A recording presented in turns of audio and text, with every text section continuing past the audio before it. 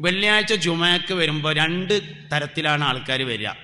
ഒരു പത്തിന്റെ ഓട്ടും ഒരു അയിമ്പതിന്റെ ഓട്ടും ഒരു നൂറിന്റെ ഓട്ടും ഒരു അഞ്ഞൂറിന്റെ നോട്ടും കീശയിൽ വെച്ച് വരുന്ന ആൾക്കാരുണ്ടാവും. അങ്ങനെ മൂലയൊരു പറയും യത്തീം കുട്ടിയുടെ കല്യാണത്തിന് പിരിവുണ്ട്. അതുകൊണ്ട് എല്ലാവരും കാര്യമായി സഹായിക്കണം.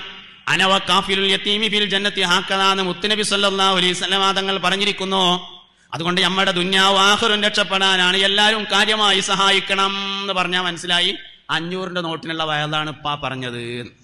അല്ല ഞാൻ അങ്ങനെ പറഞ്ഞിട്ടില്ല എന്ന് വിചാരിക്കുക. ഒരു സാധു മനുഷ്യൻ വന്നിട്ടുണ്ട്. അദ്ദേഹത്തിന്റെ മകരലത്ത് നിന്നുള്ള കത്തുണ്ട്. വീട് പണിയോ എന്തോ ആണ് എന്നാണ് പറഞ്ഞത്.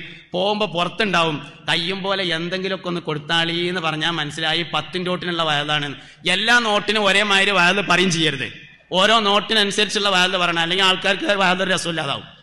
ഓരോന്ന് ഏതാണോ ഉദ്ദേശിച്ചാലും ഉദ്ദേശത്തിനനുസരിച്ചേ പറയാൻ പറ്റുള്ളൂ. അപ്പോൾ ഒരു കൂട്ടർ അങ്ങനെയാണ്. എന്തെങ്കിലുമൊക്കെ ഒന്ന് കീശയിൽ വെച്ചിട്ട് വരും.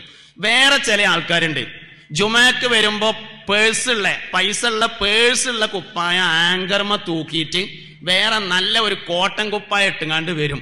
മൂലര് വായത് പറയും കാര്യമായ പിരിവുണ്ട് എല്ലാവരും സഹായിക്കണം എന്ന് പറയുമ്പോൾ മൂപ്പര് പറയും ആ അതാ കുപ്പായം മാറിയല്ലോ എന്ന് പറയും.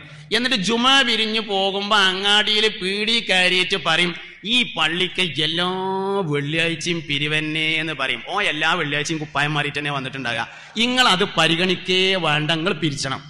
മദീനത്തെ പള്ളിയിൽ ബിലാലിൽ മുഅദ്ദിൻ റളിയല്ലാഹു ആയിരുന്നു പിരിച്ചിരുന്നത്.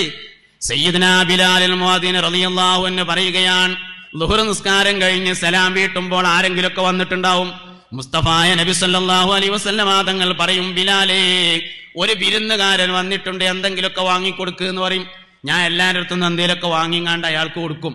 അസരംസ്കാരം കഴിഞ്ഞ് സലാം വീട്ടിൽ നോക്കിയാൽ വേറൊരാൾ വന്നിട്ടുണ്ടാവും.